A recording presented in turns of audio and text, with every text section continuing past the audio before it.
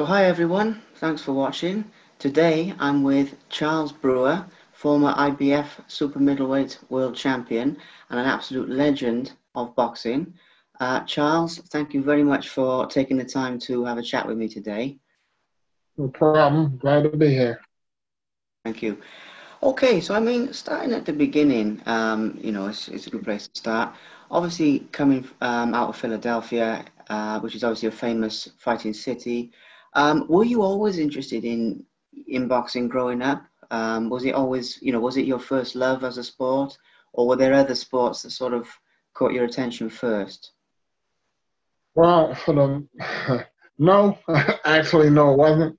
Um, and in fact, I ended up taking up boxing as a result of hmm, the neighborhood I grew up in, which which influenced me to learn how to defend myself, which I had to. Um, no, I wasn't drawn to boxing normally and naturally. I didn't keep up with it.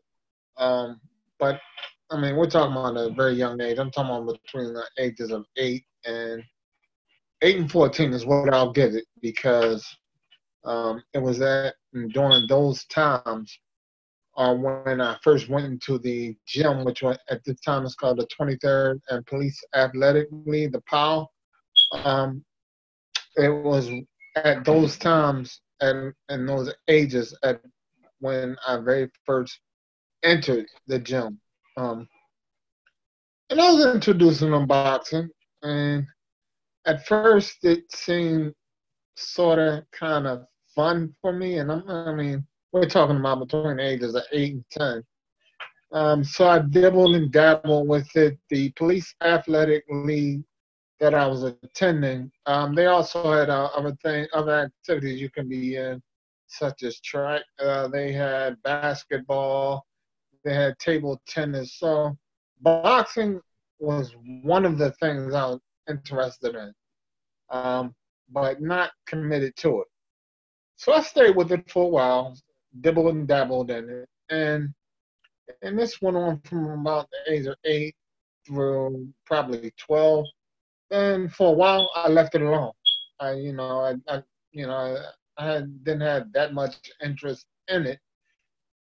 At the age of 14, um, a friend of mine from the neighborhood began to uh, go to the gym. And he had come from the gym one day and had told me there was a person he wanted to introduce me to. So I said, oh, okay, cool, you know. And so we ended up going to the gym the next day. And the person that he introduced me to was Bobby Boogaloo Watts. And um, from that day forward, um, I began going to the gym and I never looked back. I essentially the sport of boxing, I fell in love with it. And from that day forward, man, I, I had just been head over heels involved in boxing. So um, it was, uh, I guess you can say, for me, a complete turnaround for boxing. Um, for me, man, boxing first and foremost, it's, it's like this. It's crazy because I tell people this. I'm not an avid boxing fan. Like, I I love boxing. I love the sport, but I'm not one of them people that I, every single fight I got I gotta be in front of the TV. I gotta be at the fight. I remain connected to the sport through some of the names that are in there and I'm aware of the goings on in boxing and who's who and and who the champions are and so on and so forth. But I'm not overly crazy about it. Um, during my career, I have been man adamantly committed to it, and to me, it was like. I mean, we're talking about around 14, 15 years old, man, and you know, you're going through um adolescence, and you know your, your muscles are beginning to get big, and I'm like, oh man, I'm starting to like this. Huh? You know, I'm, I'm going to the gym, I'm working out, my arms are getting big, my legs are getting big. I'm like, oh, I'm getting muscles. I'm feeling good. So um, I was committed to it. And along with that, there was a challenge that boxing presented to me that it was like no other challenge. I mean, I had never um, encompassed a mental challenge, let alone a physical challenge at all in my life to, to that point. Um, for the mere being of me being able to challenge myself to, you know, today I'm doing 100 push-ups, tomorrow I'm going to try and do 150. And I want to see the end results of it by the end of the month and see how big my body gets. Um, you know, I see him throwing a punch hard this week. I want to see how hard I'll be able to throw in a month. If I get the same effect when I hit a person with that same shot a month from now. So it, it to me, I mentally became locked and loaded in the sport. And it, that just drove me, man, to be the person that I, I had become in the sport of boxing. I loved it. So you you touched on there, champ, something that I want to go back to. I mean, you you touched on um, being trained by Boogaloo Watts, absolute yep. legend of boxing. Um, and I've seen that you you mentioned before uh, in other interviews that he was like a father figure to you and everything like that. But what was it actually like um, training with him and and working with him in terms of the whole experience of that? Oh man, um, but well, let me tell you this: when I first started boxing with Boogaloo, um, because he grew up in the same neighborhood I grew up in. Um, and so he knew a lot of the older individuals who lived in the neighborhood that I lived in. Um, my mom knew his family and so on, and his family knew my mom and so on and so forth. My mom told him one day um, when I was about to go to the gym, and she told him watch over my son. That was her words directly to him. And he um and he told he said, Don't worry about him, Miss Broad. I, I will take good care of your son. And from that point forward, he actually seemed to be a, and I, I can't no other way define it other than being a father figure in the sport of boxing. I mean, he was literally literally my left hand. You know, he was he was right there with me all throughout. Um, he was all throughout within the sport and throughout life through the sport of boxing during my entire tenure. So I say to him, you know, Bo- I mean, man, we had to get up and go running, he was right there with us. You know, uh, the late nights in the gym, through the ups and downs, the ins and outs of boxing and in life unto itself, he was right then and there for me. So, I, you know, I consider him being in the sport of boxing my father figure. He was right there for us. So, that's exactly what he was, man. And you know, Boogaloo was a hell of a fighter himself. So, I put my absolute trust and awe in him you know, it wasn't one of those things where um, when it came to the instructions that were being given, that I had any doubts at all about what I'm doing, why I'm doing it, how I'm doing it, or should I be doing it another way. But I felt very confident in feeling free and executing it just as he instructed, because I know that it was coming from a person's mouth was very wise in, and what he was doing. So I felt good in the instructions that were being given. Now, something else here to um, touch on, obviously around you know around this sort of timeline. Obviously, during your career, you were known as the Hatchet. Um, it was a great boxing name, I think. But I mean, I have to ask, where did that come from? I mean, did did Boogaloo give you that name, or, or like, I mean, where did it, it start? That, yes, that would be the case.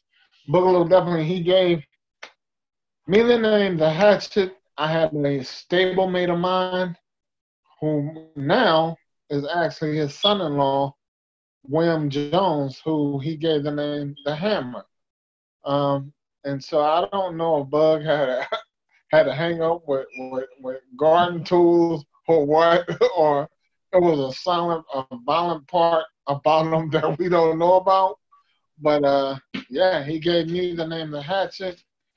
Unfortunately, those kind of names uh, in the sport of boxing, uh, either you're gonna end up being the ass end of a joke if you don't live up to it, or you're gonna have to show up and show out each and every time around to prove that you are the hatchet. And I, I think I did a, a pretty good job at showing that name fits me perfectly.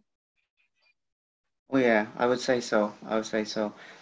And then obviously, um, I mean, you turned pro relatively young. Um, and, you know, every time I, I research this, it, it mentions that, you know, your amateur career was, you know, fairly limited in some respects.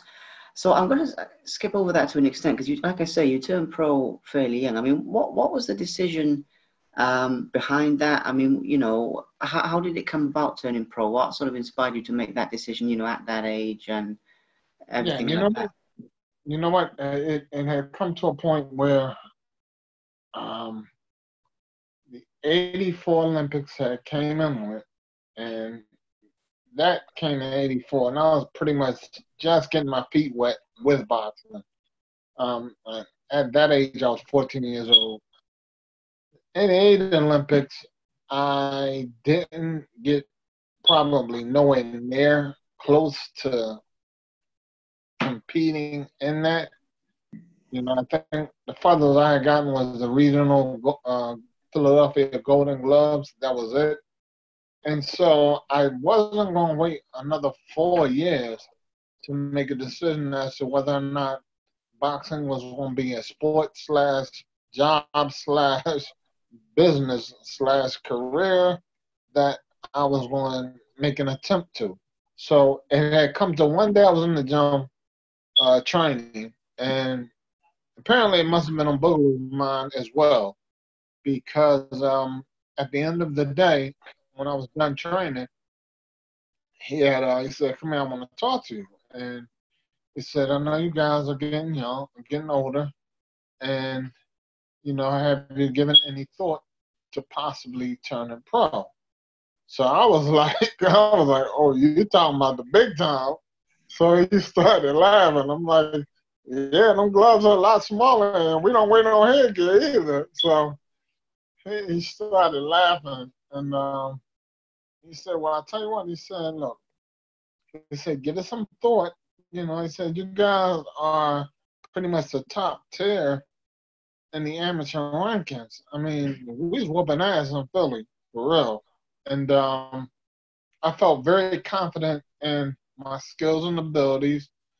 Um, and at that point, I felt as though maybe turning pro would have been a challenge that may have, you know, turning professional it may take me to a new level. You know, maybe I can become somebody that exceeded what Boogaloo had become. You know, and so I said I'll give some thought. You know, and it didn't take long. Within that week, I was like, okay, make the moves that need to be made, and mentally, I'll do the conditioning part to get set and ready for whatever challenge that may be coming.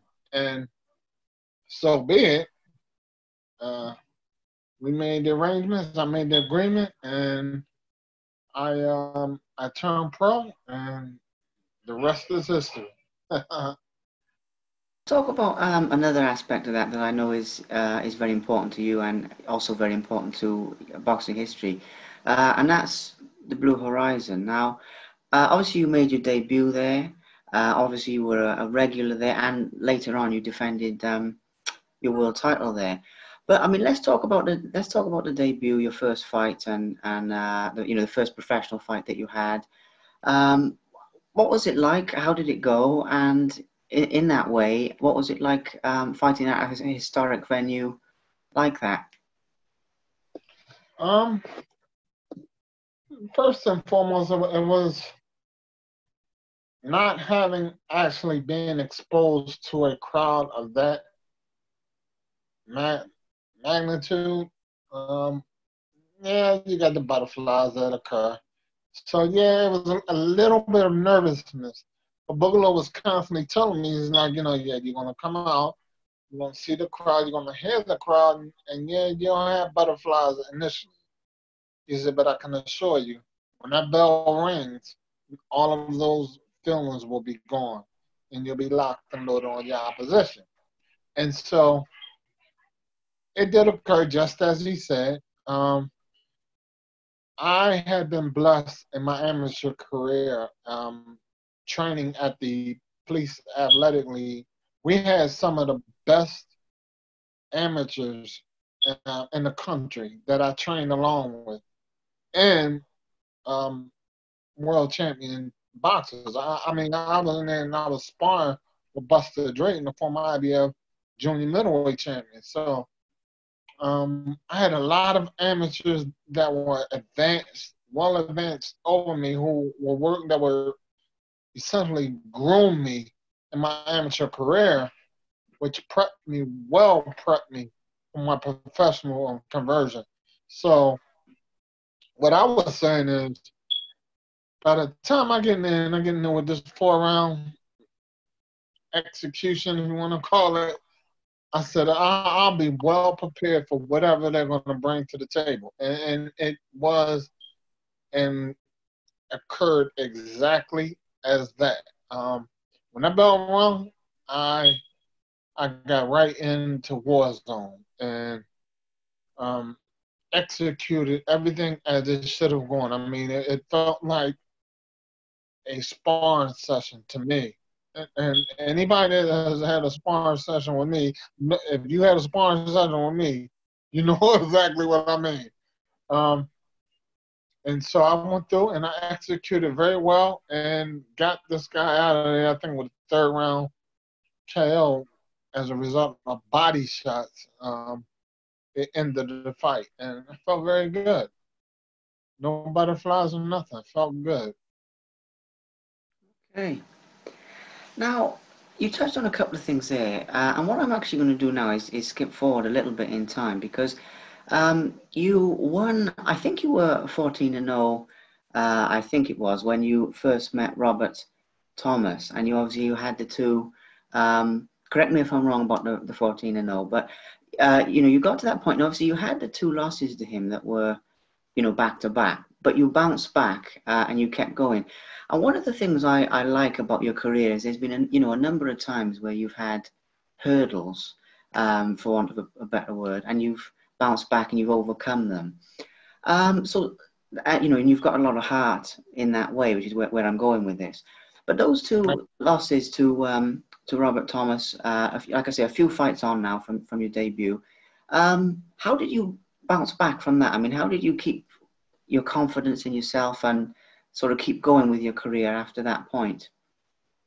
Well, me- mentally, um, the thing about boxing that I had grown to recognize, realize, learn, love, and respect was um, it, it to me it posed a challenge mentally, and I mean mentally because the way I see it is, for me, even having to come into a gym when it is possibly 100 degrees outside, put on my equipment to sweat and get grimy and spar somebody that's possibly at least 20, 25 pounds heavier than me, and then having to try and not have this person that probably is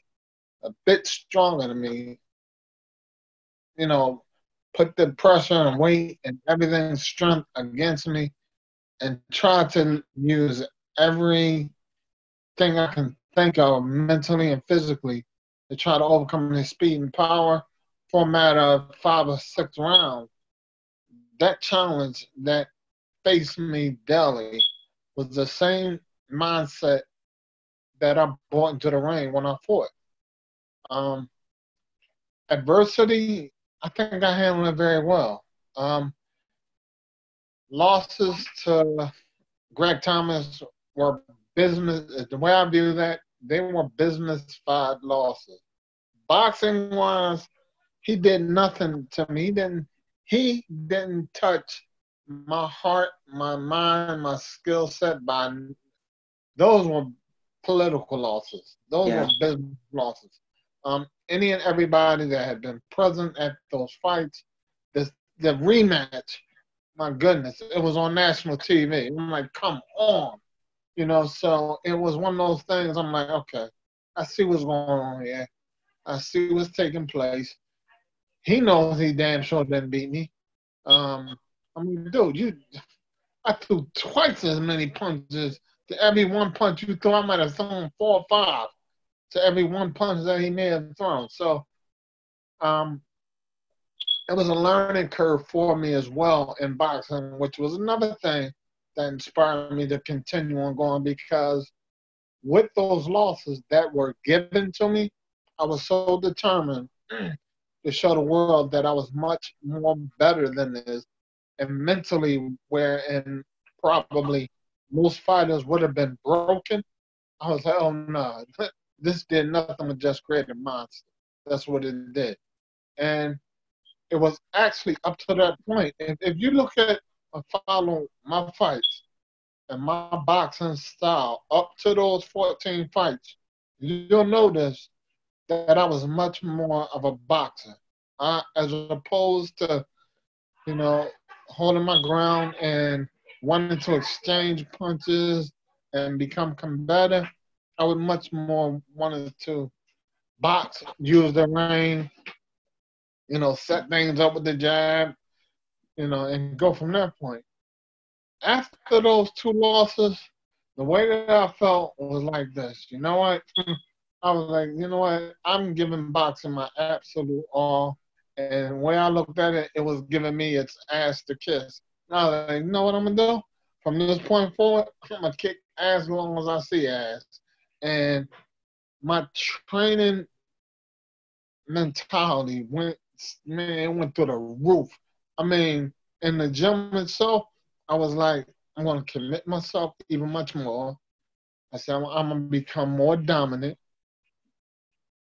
that point in time with my boxing career, Boogaloo Watts is known as a well skilled boxer. Charles Brewer can be that boxer, but more importantly, I would rather top fire to your ass than be a boxer. So what ended up happening was even with the instructions that were coming from Boogaloo, um, he wanted me at that time to be much more of a boxer. My mindset was, you know what? I did that. I gave it the boxing. You know, I, I brought the boxing ability to the table, and they they they snuffed me. You know, I'm like they took two fights from me. I'm using the jab. I said, no, what I'm to do is I'm to make sure I'm to win these fights. I'm going to beat the living hell out of my opposition. And they won't have no questions about whether or not I won this fight or not. And the way that I had began training in the gym, um, it just, it, it, it, it was an overnight change, man. I had begun becoming a lot more aggressive. I mean, man, wow, if you can only see what I what I'm saying, the bill and it's crazy. It, just to be able to see how I used to work out and train, any and everybody I have experienced being in the gym with me will tell you, and I, I lie to you not. People that I and it's funny when I hear it from other boxers now when they talk about the person that I was in the gym, but um, that mindset changed completely. So, with those two losses that were given to me by Greg Thomas, we knew what was happening. Um, at the time, by the way, I was signed with Top Rank. Um, and so, with those two losses being given to me, Top Rank essentially was saying bye bye to me and it was fine. Okay, it was a lesson learned. Um, but I know as well as many people that have kept up with my career that those losses that were given to me wasn't legitimate losses. And, you know, those were the first two losses that had been given. There were quite a few more that occurred in my boxing career that we I'm sure that we're going to get into shortly. But yeah, um, they turned the tables for me. And so from those two losses with Robert Thomas, essentially, I think the Hatchet himself was born. Yes, I've been a Hatchet since first day I turned pro, but in all trueness, the action, the acting that you saw in that ring, inside that ring, that was truly the Hatchet that began showing himself after those two losses. Uh, yeah, I mean, I, I understand what you mean, and even the fact that you bounced back uh, so quickly with um, the knockout over Willie Harris. Uh, I mean, it, goes to show. There's another thing there that that um, I was actually going to cover later, but I'll, I'll cover it now instead, which is, you know, you're known for being very, very dedicated and uh, during your career. And obviously, I know you, you just explained with, with Robert Thomas that um, with Greg Thomas that that, expl- that that changed at a point and you got more dedicated and everything. But what was the main thing that you know kept you motivated in your in your boxing career for all the years that you were boxing? Um, and I know that that's a bit of a strange one, but your primary motivation, obviously, you wanted to be champion. Obviously, you were champion, and, and we'll get to that. But was it to prove people wrong? Was it to be the best? Was it? Do you know what I mean? I mean, for different guys, it's, it's different things. What sort of made you tick as as a boxer um, on a mental level? If that makes sense. Good question. Now, let me explain this to you. Well, probably at this point in this stage now, if probably a lot of the newer, younger fighters aren't aware. But aside from me being a boxer, at one point in time, early on in my career, I was also a uh, computer professional, which at that time was completely, it was like, you gotta be kidding me.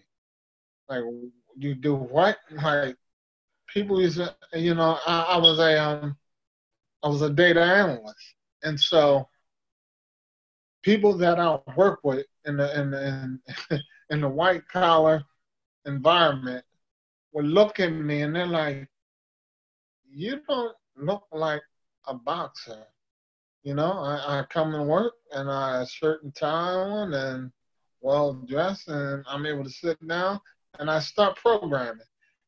And five o'clock comes, I go to the gym, I get sweaty, and that person that comes in comes out in the gym and starts working out is a complete animal. And so I had the people that were in the boxing world see me and say, I understand your background, meaning you're able to be a professional and do that and do this.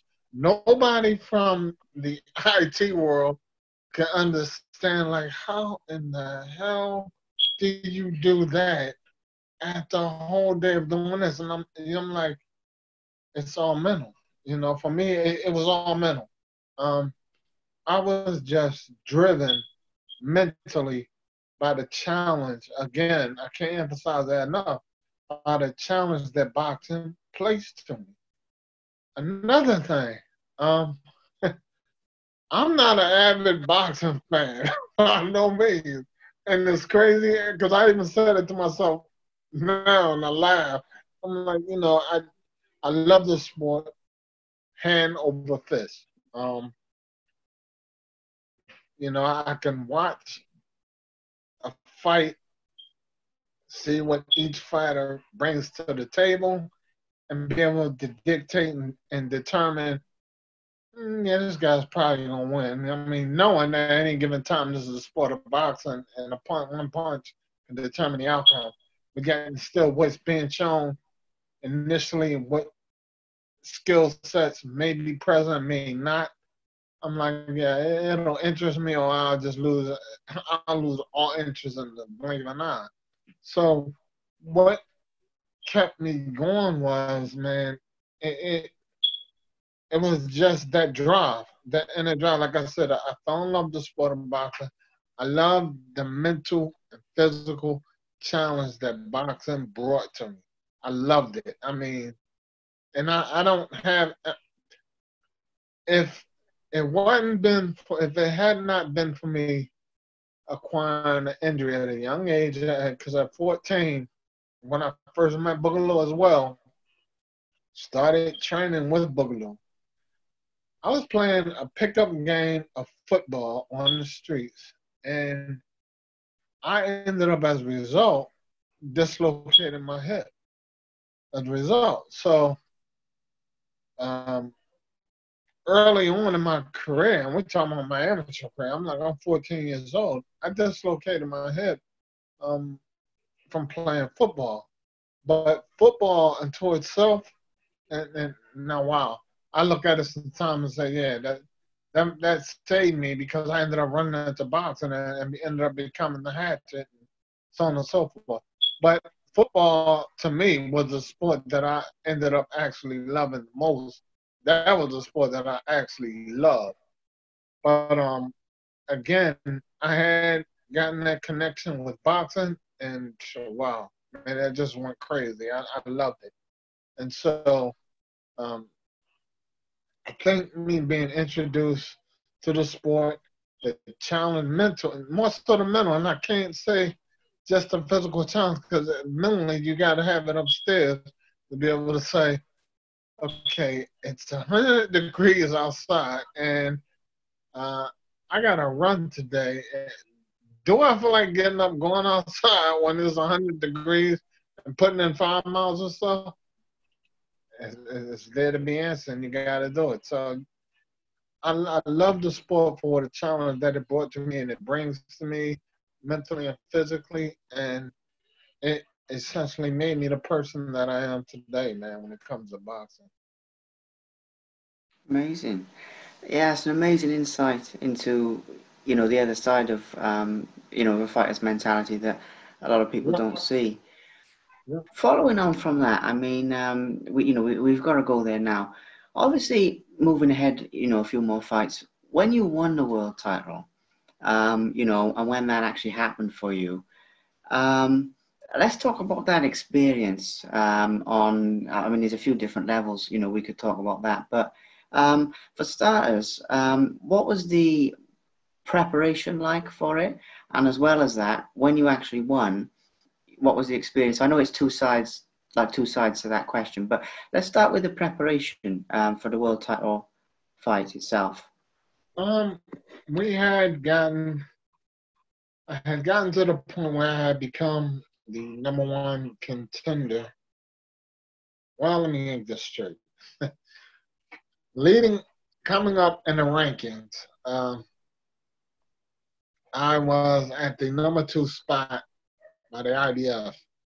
and um, Roy Jones at the time was the world champion. Now, I always had a thing for Roy Jones, and had gotten the opportunity and chance to actually meet him and told him, I'm like, Roy, you, you know, I told him, I, I said, man, I am and was a fan of yours, but man, I want some of your ass bad.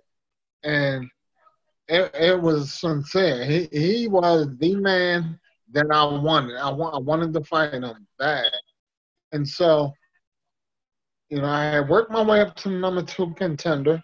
Um, I've been given the opportunity to challenge for the number one spot, and when I did that, you know, I had acquired the USBA Super Middleweight Championship, and so that put me right at the top. And I'm like, at that point, I'm like, yes, uh, I'm there. You know, I'm like, okay, the fight with Jones is on. Well, come to find out Roy Jones, I ended up making the decision to move up to light heavyweight, and the super middleweight title is now being vacated.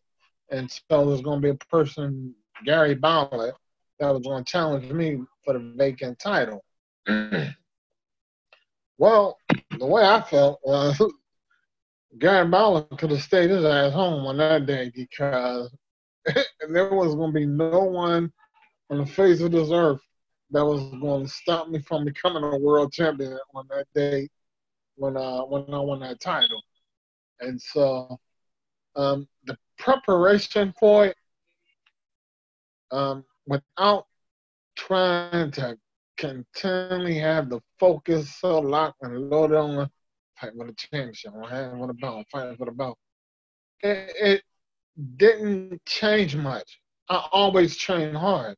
Um, at that time, we had um, Buster Drayton, who was the IBF junior middleweight champion.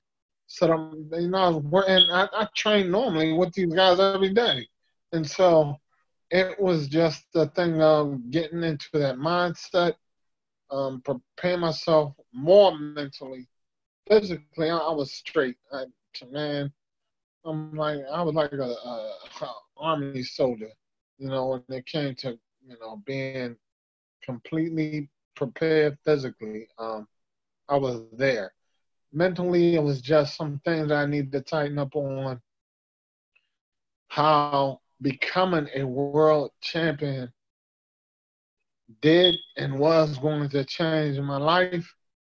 And wow, it, it's funny. It, it, I tell you, it's an experience that you would have to experience to understand what I'm saying, to be able to say, if I could only go back to that day when I should have did this, I should have said this. I shouldn't have done this. I shouldn't have done that. Um, but in preparation for the fight itself, I was game. I was ready to execute, and um, having seen what Gary Ballard was going to bring to the table, I was like, um, I can't wait to go there to get that belt placed around my my waist because he, he's not going to last. And I was successful in doing so and ended up getting getting him out of there relatively soon. You know that does lead to the other um, the other side of that question is is when you won. Um, I mean, what was it like? I mean, I, I know you say that you know you have to have the experience, and in all fairness, I've heard that from um, other you know world champions I've worked with and everything. But if you could give a little bit of an insight into what did it feel after all those years of hard work and everything to, to actually mm-hmm. get there? It was one of the most gratifying feelings I have ever had in my life. Um, it it was wow. I mean, in terms of life accomplishments, it was like at the present moment in time, that was it. It was like out of all the thousands, hundreds, and possibly hundreds of thousands of fighters out here that are challenging to want to become a contender, let alone a world champion, I did it. I made it to the top of the mountain. Um, and I, I, you know, it was such a immense feeling of gratitude, like, oh my God, I actually made it. I'm the man. You know, like I did it. Um, it was a challenge, man, because coming up within those that year or so, I lost my mom. And I lost my mom around the time that I had become the USBA champion. And where with some people, it might have torn them apart and he definitely, absolutely, positively did to a point with me. I channeled that loss into a motivating factor and used the inspiration to just draw me straight to the top. It was like, okay, mom's no longer here to guide me.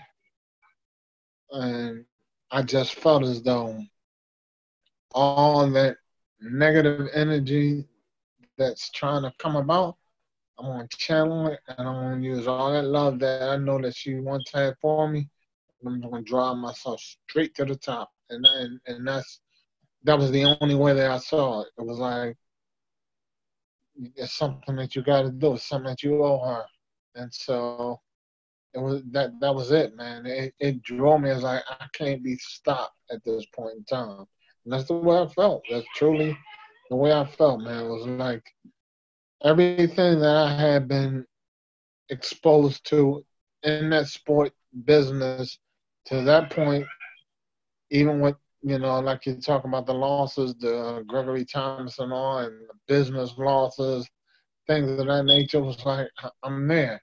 I I ended up becoming a world champion, not him, as a result, and I felt good, very good, man. Um, yeah, just just taking it all in. That's an amazing description of it. Uh, that's all. Let's talk about um, a few of your defenses. Um, in particular, I mean, I'd like to talk about your world title defense uh, at the Blue Horizon. I, uh, you know, I mentioned that venue earlier um, because, as I understand it, you're the only world champion to defend uh, your title there. So, I mean, what was that experience like? You know, um, being world champion, be, as you say, being top of the mountain, and you know, defending an absolutely historic uh, and legendary boxing venue, obviously known around the country, but known around the world, really. Uh, I mean, what was it like to you know have that experience? Uh, I mean, it was packed out in there for starters. You know, did you did you expect that? And what was the whole experience like? Yeah, it, it, at, at, that point in time um, in my career, Charles Brewer, my name being mentioned as being a fight on any card at the Blue Horizon, I sell the place out instantly. Um, but upon me becoming world champion, um, Russell Peltz, who ended up becoming my promoter, um, ended up we ended up having a meeting with me and my training um, manager, and he said, "What do you think about having the first world championship fight at the Blue Horizon?" And I was like, "Whoa!" I was like, "For real?" I was like, "That would be lovely." I said, they, I said, yeah, that, that would be, that would really be good. The one thing that we had to work out, of course, was the financials of it. and so, um, we did that, and you know, well, I know I was satisfied, but uh, it was just a matter of them saying, you know, get get the opponent, um, get a contender, and let's do it. You know, let's make history. And so, and, and that was the other thing for me. It was, I want to do something. It essentially was for my Philadelphia fans, but also was something that was going to be done historically because it was never done before. Uh, yeah, we've had former world champions fight there, but nobody had ever defended a title that was a cha- that was a champion at the present point in time at the Blue Horizon. So I was like, yo, this is gonna be a good one for me. So yes, um, I was definitely game to go ahead and, and, and have that fight made. It turned out being one of the best fights in my career, man. It, it really did. really did.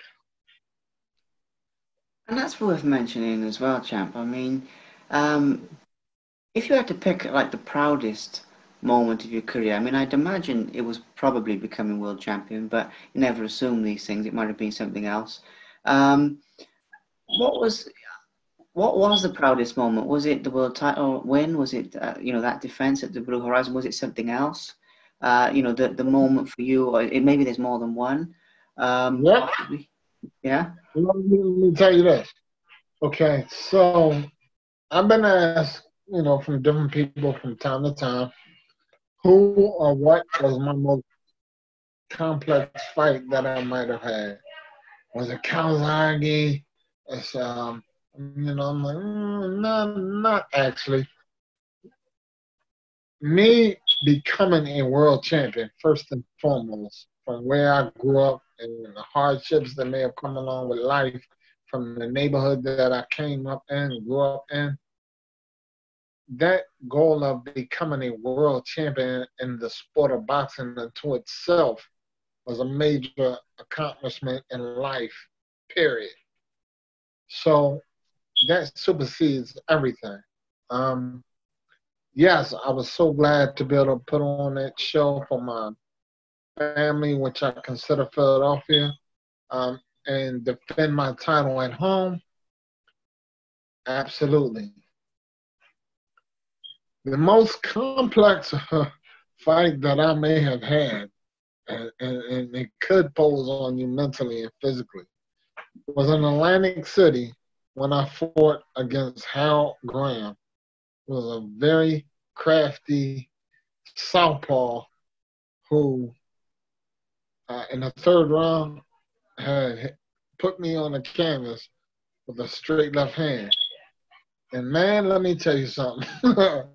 for for those that don't know, um, that was one of and, and listen, I hadn't had a problem particularly with southpaws at all.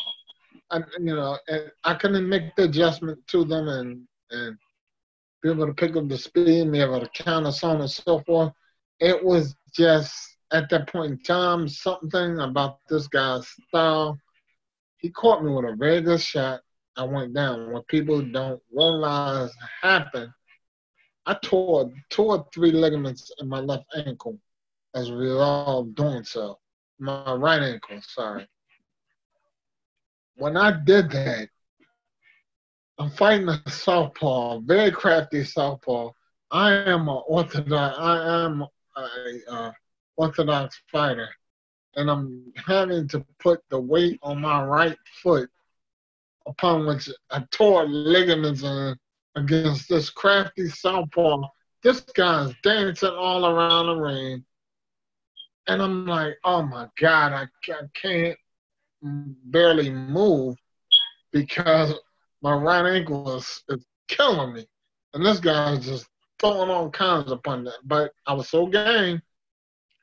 I was so much into it. I kept I said to myself, when I catch this guy with this punch that I've been practicing and practicing and practicing on in preparation for that fight, which was a right hook, because I saw that in the video that I had been watching of him, there was one shot that I had the chance of catching him with.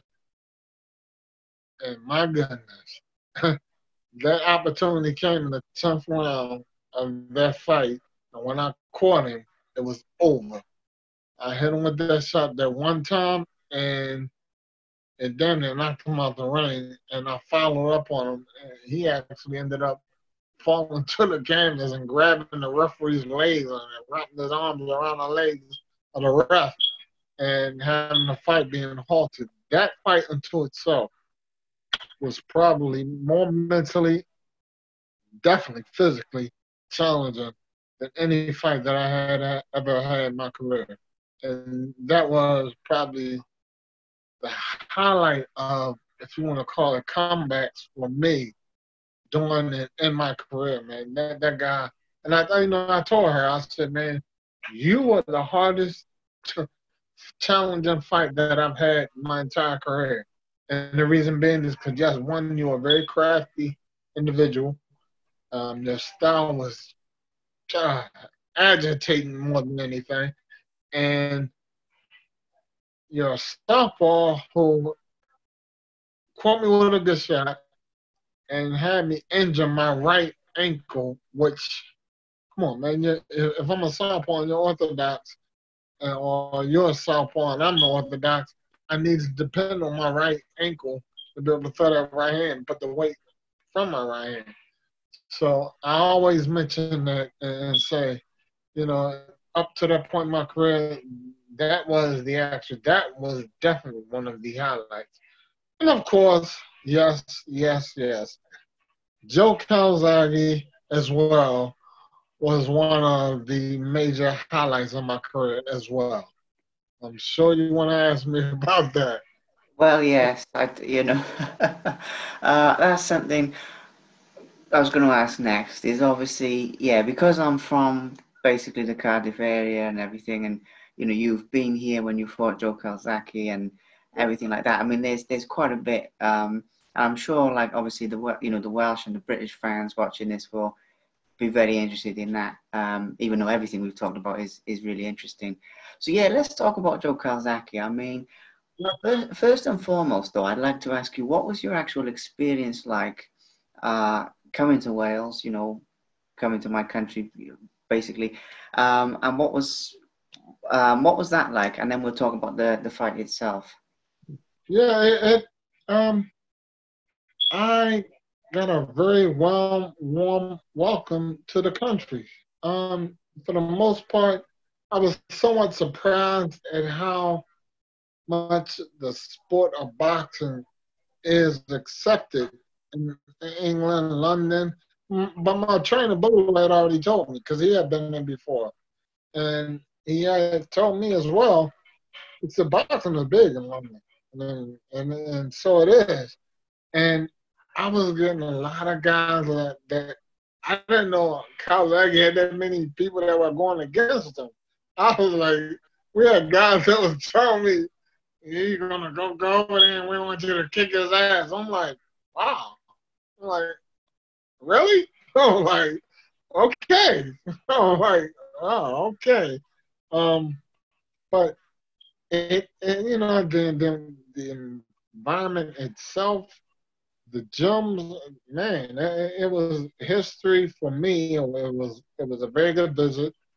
Um, I was surprised more so than anything, but um, it, I mean, it was a great opportunity for me to get the exposure that I had gotten being over there.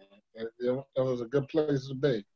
So I I was really surprised though some of the uh, some of the oh my goodness, some of the motivational advice that I was getting from some of the guys from some of the clubs and places. I was like, oh my goodness. Like them guys wanted me to kill Calzaghe. I'm like, wow. I was like, oh my goodness. Okay, okay. So it was different, definitely. Different experience, yeah. And then what about the fight itself? Um, I mean, how you know what? What's your opinion on, um, you know, your performance and, you know, how the fight went and just the whole dynamic of that, really. All right, here's the way that I went. When initially the name Joe Calzaghe had come up, um, and was having me talked about as being the challenger for his title. I didn't know who he was. I had never heard of Calzaghe. Um, it was after the what's his name? Um, fighter that it was after a fight that I had had in the was United States that I should have won, but I did. So um, the talks of a Calzaghe fight had begun coming through the wire, and my manager was saying to me, um, "Oh, I know, it's Antwun Echols." And for those that can remember the fight that I had with Antwun Echols, that fight hadn't been stopped in the manner that it was stopped. Um, that fight was to determine who was going to be the challenger for Calzaghe. Unfortunately, the way that the fight the outcome of the fight, which had me losing, apparently Calzaghe's people saw the fight and was like, no, we want brawl. And, and so a few months afterwards, the negotiation, I got in the call, the negotiation came about for the fight to be taking place between me and Calzaghe. And again, like I had said, I never heard, I didn't know who Calzaghe was. So when it comes out and I get the word that I'll be fighting Joe Calzaghe, and early on I'm hearing he's going to knock me out. So I was like, I went to my manager and I'm like, does he know who the hell I am? And I said, he's going to knock me out. I'm like, who the hell is this guy? So I began looking up video of him and I didn't see anything special about him. Um, to me, it seemed like he was just a fast hand slapper for the most part. And you know, and so I, you know, I took it for what it's worth. I said he was a southpaw and pretty fast hands, but I don't see, he, to me anyway, he doesn't have devastating power by no means. Nothing that's going to keep me, um, you know, defensive minded for 12 rounds. And so the preparation for the Joe Calzaghe fight came about. Um, I prepared well for it, was ready and game for the fight itself. One of the things I got to tell you is, is that if nothing else, I had to shake Calzaghe's hand. That joker, he gave me a fight. I mean, man, and I'm sure you're well aware. You look at that fight. His father was cursing him out. My trainer was screaming, and cursing me out because we was in there thumping. I mean, I mean, we gave we gave the boxing world a fight to see on that night when we fought. Um, and I, I could do nothing more than just, you know, hug and congratulate him on his victory. If there was a fight to say that I lost and be able to go along with, that would be it. I'm like, okay, dude, tonight you were the better athlete. You won this fight. And, but we were thumping. We, us two, we gave we gave Showtime the fight that they were looking for on that evening. Um, not only that though, two years later, I had met up with Calzaghe in New York. He gave me tickets to the fight with him and Roy Jones. And, you know, again, that was, you know, a gratuitous type thing to be done for that as well.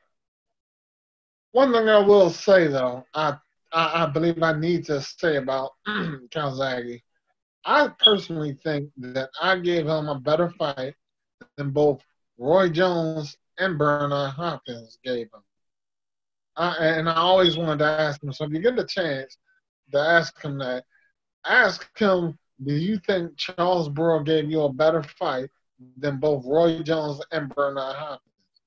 And he beat the shit out of Roy. I and you know, Bernard told not maybe not well definitely not as bad, but he beat him. He outboxed him. He outclassed and skilled him. I think personally that I gave him a more a more defined challenge than either one of them had given him. And, and I always wanted to, he's not a social media type like person, so I hadn't been able to reach out directly to him to, to actually ask the question of him would I have been that person that had given him that particular challenge. But um, I think so. I, I think, you know, given I understand, I do understand both Roy, well, for that matter, both me, Bernard, and Roy, neither one of us was on our prime number one. So he caught all of us at the perfect time in our career to fight us. Um, I was what 30, 32. Uh, I know yeah. Bernard was there, and I know Roy was on there. So, but nevertheless, and he was one of one of the more highlights, definite highlights of my career, and one of the more challenging fights that I engaged in during my career as well. That's a really good insight, and um, yeah, I mean, you know, I'll, I'll see what I can do to find out, um, you know, what he thinks of that. Um, yeah, yeah, I'll, I'll see what I can do.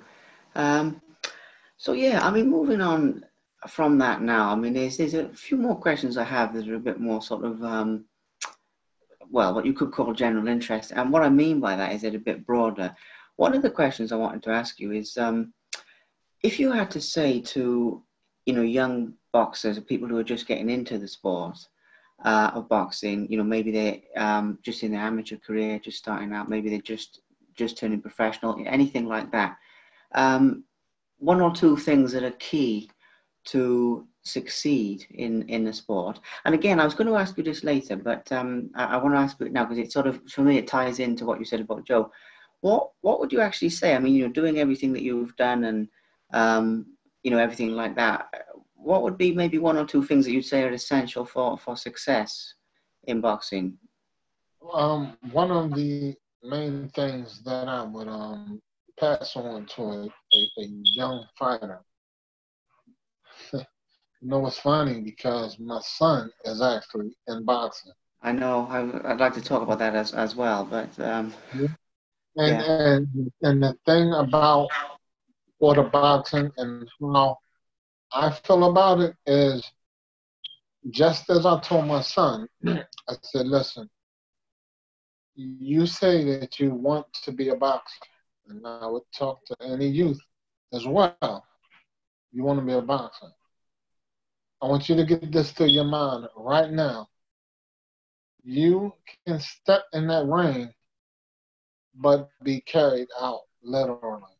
And that, that goes to say that if you're going to engage in boxing, take it serious, very serious, because that first punch could be the last punch. And for me personally, um, that's exactly how I, I take boxing. Um, I have seen guys get hurt. I personally have hurt guys. I was 14 years old, man, and I had a crew of guys that were working with me, that trained in the gym along with me. 14 years old. It was around the time when I first met with Boogaloo. I'm sparring a guy, a, a, friend of mine in the ring. I hit this guy with a left hook, and I knocked him unconscious with his eyes wide open. You talking about my heart, man? My heart almost dropped to my toes. I, it scared the shit out of me. And I'm looking and I'm like, oh my God, what did I do? You know? I hit him with a left hook. He, I, I dropped him, and he was unconscious with his eyes open. And from that point forward, I was like, man, I, I literally, I'm standing in the middle of the ring, and I'm looking at my hands, and I'm like, yo, I did this, and I'm looking at Boogaloo, and I'm like, I'm like, man, this is this is real. And so when, when you talk about the sport of boxing and accomplishments that you want to make and things that you want to do, and like, listen, first and foremost, you to understand what you're signing up for. But that's first and foremost. And I, and I told my son that, and I told him that from day one. Like, uh, we're to make this clear right here now. If you think that this is going to be easy, you got the wrong sport, and I'm not wasting my time and you're going to be involved with the sport of boxing, first and foremost, mentally, mentally, man, you have got to be committed.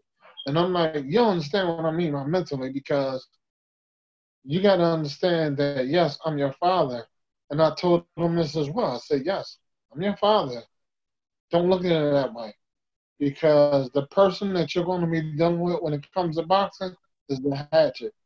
And he understands what I mean by that. I'm like, Dad's here. Yeah, he's here. But when it comes to you getting inside that ring, I'm going to express myself just as if you are my opposition. I'm going to try to light your ass up. I want you, it's going to be a totally different way of being that I'm going to present myself to you when it comes to this sport you have to understand and realize that you can't and don't, shouldn't and won't.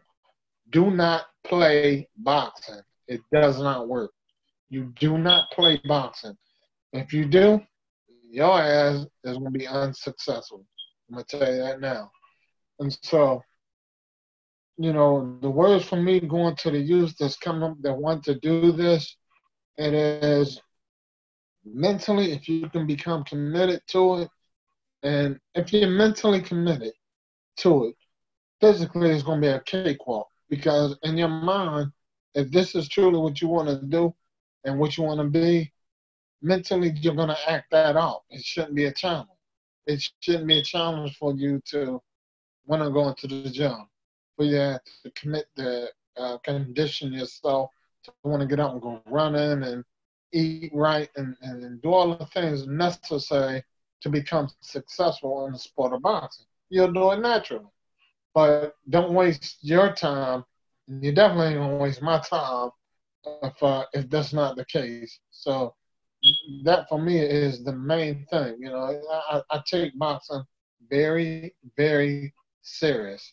I don't. I never did. I never played boxing at all. Advice. It's very, very good advice. Um, that's all I can say to that. Um, just on a personal note, uh, you know, obviously having been around boxing in the media side of it, uh, you still see, you know, a lot of what goes on. And I say it's, it's, it's very, very good advice. Which does lead me to your son, um, Charles Jr., you know, boxing, and he's sort of setting out and um, following in your footsteps. And um, that's that's another question that I have actually. Um, what are your aspirations there? Obviously, he had a successful debut um, earlier in the year, earlier this year, January. Uh, and he's and I know things are a bit on hold at the moment with this lockdown and stuff. But when that's over, um, you know, what are your aspirations with him? Uh, what you know, what are his aspirations? And uh, let, I mean, let's talk a little bit about that. So, so you're actually training him. Uh, that's right, isn't it? You're actually yes, you're training him. So he's looking to build up the record and get going, basically. You know what? The, the funny thing about it is, um, and, and I told him this before he even turned pro, or for that matter, before he, when he started boxing. Um, I, I, told him, and I got some of the people that know knew me through boxing, that there's always going to be that comparison between him and me, both that neither one of us have any control of, which is to say, are you going to be the second coming of the Hatchet?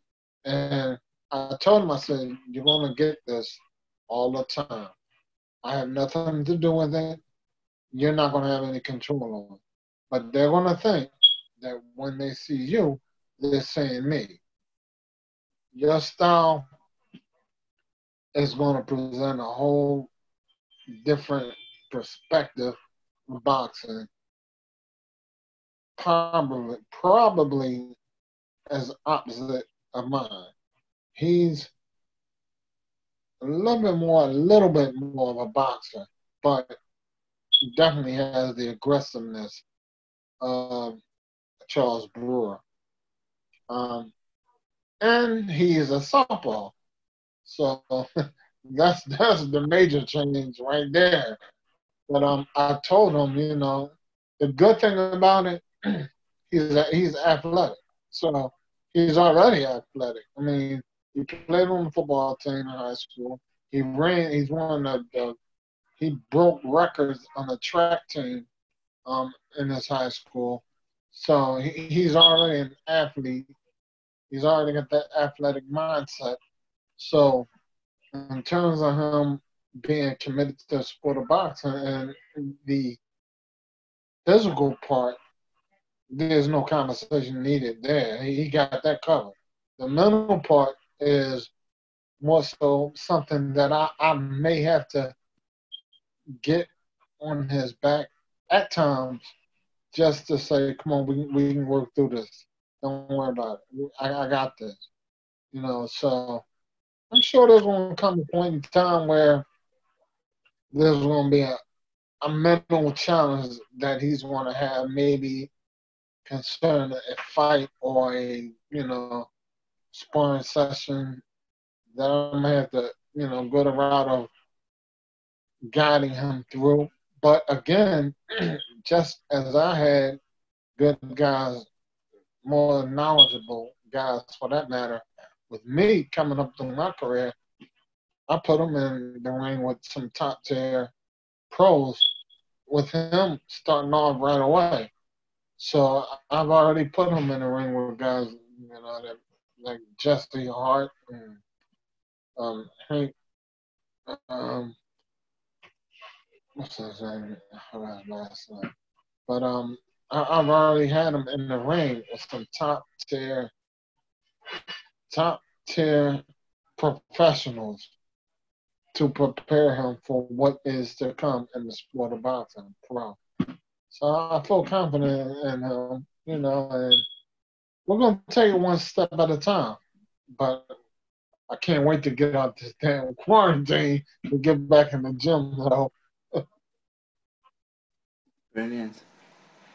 Well, you know, champ. I mean, you know, we've covered um, an absolute multitude of stuff there, um, and it's it's better again than what I hoped for in in the sense that as much as we've talked about the fights, um, you know, we've talked about the mental side and we've talked about other sides as well, um, and you know, I'm very happy. I mean, I know we we skipped over um, Sven Ottke in there. We you skipped over him, but I, am not too worried about that to be honest, because we we got the highlights of you winning and uh, the world title, which is more, you know, more more what I was interested in. Um, I mean, you know, before we sort of wrap it up, because I, you know, I've I've covered everything I, I, was after. Are there other things that you would like to talk about? Is there anything anything else that you would like to sort of discuss? Um, in particular, that comes to mind, uh, or maybe anything you'd like to say to the fans, anything you'd like to say to people watching this? Um, not a whole lot, nothing other than, I guess, for the most part, um, the sport of boxing has been very good to me. You know, throughout my hardship that may have occurred throughout my career, overall, man, for the people that I have been blessed to be encompassed by, um, man, the places I have seen the things I have seen, it's been nothing more than an absolute blessing for me. Um, it has definitely been an experience, and you know I'm very grateful for that. Um, you know, and boxing, yes, it is a very difficult sport. I don't, you know, tend to make it seem as though it's a cakewalk. No, but if if you can commit yourself more so mentally because if mentally you're not going to be in it to, think what you're going to need to have to go through day in and day out, physically you're not going to be able to execute it. It's, it's a fight loss already. So with that being said, man, I'm, I'm just so grateful for the people that I have come about to be able to meet, the places I have visited, man. I mean, I've been all over the world. I'm grateful to have been able to see the world, um, to see that the neighborhood that I may have grew up and come from is only one small, very small fraction of what exists in this world itself. You know, and that there are people from all areas of the world, man, that are truly fans of Charles Brewer. And I'm very grateful to see that. Um, that and the accomplishments, the achievements that I have made myself, that I'm sure that at one point in time, I myself may have thought I could never be. If somebody would have thought, said this to me at a young age, that you know, one day you're going to be such and such, I'd probably be like, you must be crazy. You're talking to the wrong person. And having to have turned out to accomplish the things that I had in the sport of boxing. And when the sport is over and done with, the awards that I have received and the inductions for Hall of Fame and things and such that I have been inducted into as a result of my commitment to the sport, man, like, come on. Like, wow. I, I, I, I look back on this now and I'm like, yeah, I did it. I actually did it. And there are a lot of people, just as you asked me, what would I say to the youths out there? I myself say, I am one of those individuals who are hand over fist able to walk into practically any boxing gym and be able to instruct a fighter on what they're doing, how to do it, and they would respectfully want to listen to what I'm saying because they know and can trust that I am giving them good advice. So that into itself as well, I feel good about. Couldn't, couldn't say anything less about it. I feel good about that. Amazing. Absolutely, yeah. That's that's fantastic. Well, champ, all I can say is it's it's been an absolute pleasure. Um, I mean, you know, we we've covered so much, uh, and I know there's more again. You know that, that we we could could have covered, but we've covered so much, uh, and it's been absolutely it's been fantastic insight. Um, you know, into your career, into your life, mindset, um, you know, future plans, just so many things. Um, and like I said to you before, I mean, I'm I'm very very grateful um, for you taking the time to talk with me today. I, you know, I'd really really appreciate that. Mm-hmm. Not a problem at all, man. It's you know, it's, it's funny now that I have to look back and talk about the person that I once was, and it, it, you know, to myself, I often laugh a lot when I when I sit back and mentally I think about even going into a gym and just wanting to work out and try executing some of the things that I once was able to do. And I'm like, nah, I think I'll pass this one up. like, nah, I think I, I think I'll do this another time. I've been there and I've done that. So I don't have, you know, it's funny because I often, from time to time with my son, you know, I'll, I'll see him doing certain exercises and things of such, and I'll tell him about how I used to do it and how it would make you feel, and he'll be smiling "Well, why don't you go ahead and show me, Dad? Go ahead." And I'm like, uh, "Okay, I'm already done what you're talking about. I've been there and I've done it. I don't need to show you now." But um, I'm, I'm glad to have, have accomplished what I have, man, and I, feel good with it. I feel definitely, absolutely good with my accomplishments. Thank you very much for watching. Um, please subscribe to the Simply Inspired YouTube channel and there'll be more videos coming soon.